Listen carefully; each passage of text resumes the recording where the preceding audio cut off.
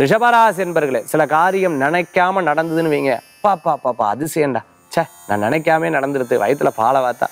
எனக்கு ரொம்ப சந்தோஷமா இருக்கு இன்றைய தினம் என்னமோ நன்னா இருக்கு.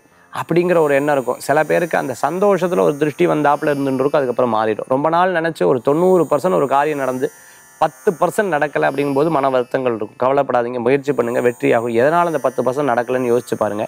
அனுகூல்யம் கூடி வரும். பிறரை நம்பி பண விஷயங்கள்ல கவனம் என்பது தேவை. இன்றைய தினத்துக்குண்டான அதிர்ஷ்டமான எண் ஐந்து நிறம் சிகப்பு. வழிபாட்டுக்குண்டான தெய்வம் பழனியாண்டவர் வழிபாடு வெற்றி வழிபாடு.